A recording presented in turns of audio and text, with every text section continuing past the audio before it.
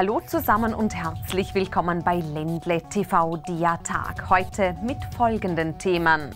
Großes Fußball-Schülerliga-Landesfinale in Feldkirch.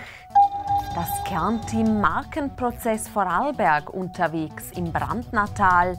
Und der zweitwärmste Frühling der Messgeschichte geht zu Ende. Der Juni startet ebenfalls sommerlich.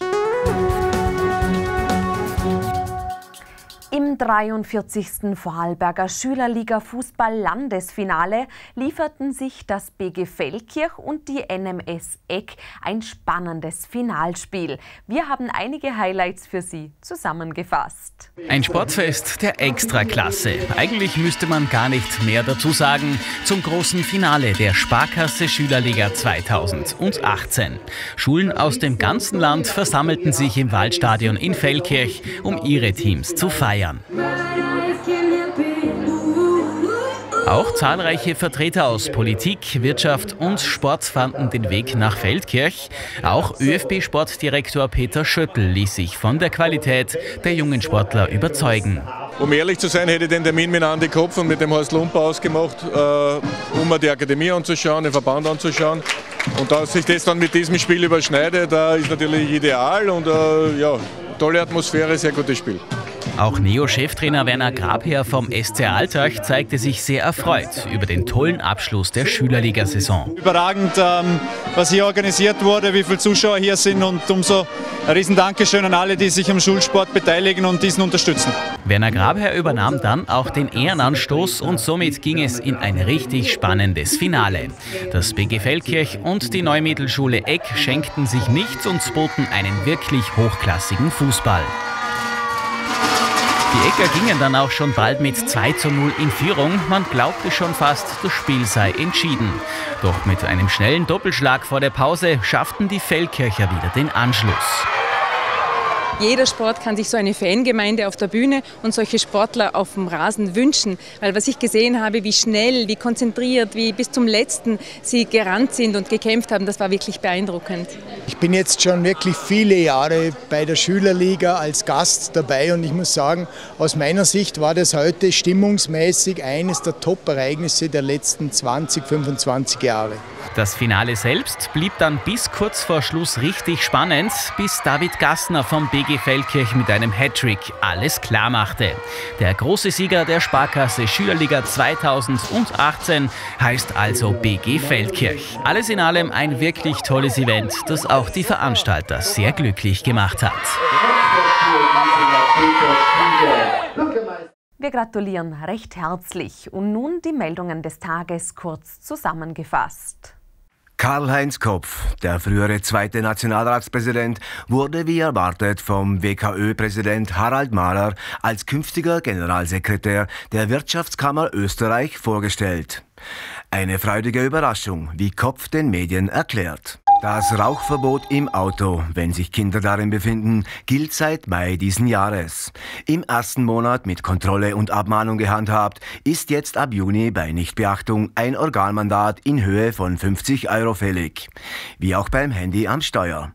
Zur Karo. Die Götzner Tanzgruppe um Trainer und Choreograf Peterson da Cruz begeisterte Publikum sowie Jury bei der US-Talentshow America's Got Talent. Das atemberaubende Spektakel mit Feuerwerk und Akrobatikeinlagen ließ die Jury staunend und mit offenem Mund dastehen. Mit dem Golden Buzzer, der Belohnung nach dem Auftritt, steht die Götzner Tanzgruppe im Viertelfinale der größten Talentshow der Welt. Wir gratulieren herzlich. Im Brandnatal hat sich das Kernteam des Vorarlberger Markenprozesses zu einem Workshop im Fröd eingefunden. Nach der Fahrt mit der Panoramabahn auf 1600 Meter erfolgte ein arbeitsintensiver Tag mitten in einer wunderschönen Bergkulisse. Der Entwicklungsprozess Marke Vorarlberg ist seit März diesen Jahres erfolgreich im Gange.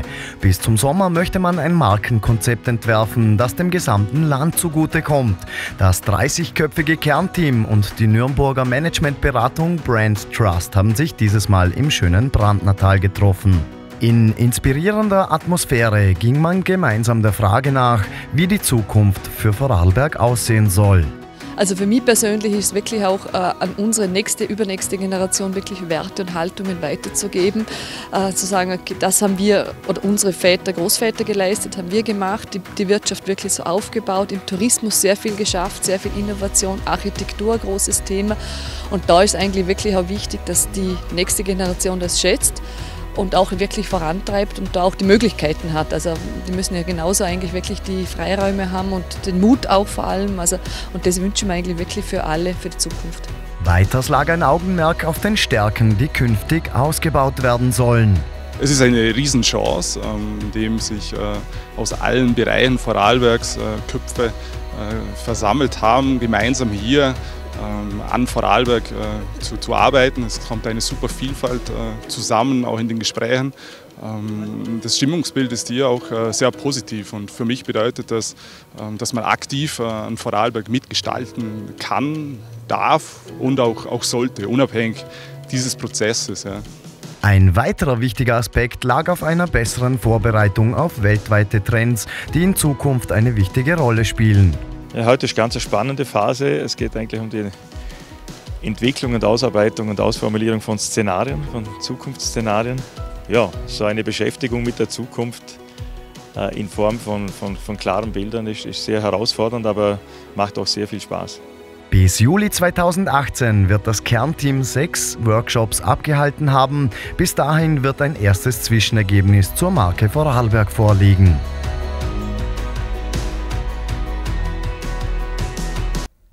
Bei uns geht es weiter mit den Schlagzeilen der Vorarlberger Nachrichten von morgen.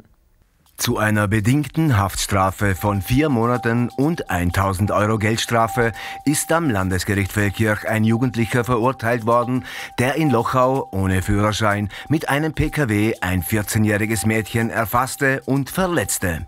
Am Donnerstag ist Weltnichtrauchertag.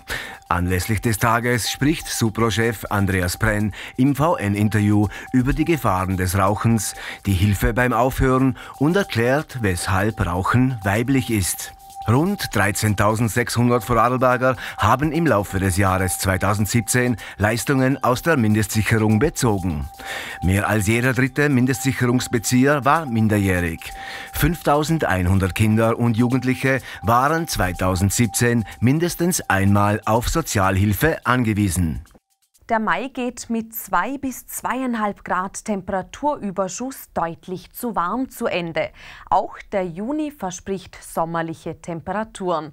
Mehr dazu jetzt gleich in der Wettervorschau. Ich bedanke mich fürs Einschalten und würde mich freuen, wenn Sie auch morgen wieder dabei sind. Bis dann. Tschüss.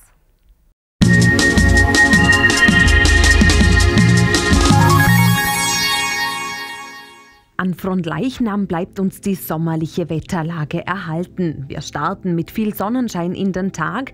Die Temperaturen liegen am Morgen bei schon 12 Grad in Schoppernau und 16 bis 17 Grad im Walgau und Rheintal. Über die Mittagszeit bleibt es freundlich. Es wird sofort wieder drückend schwül mit Temperaturen von 25 bis 28 Grad.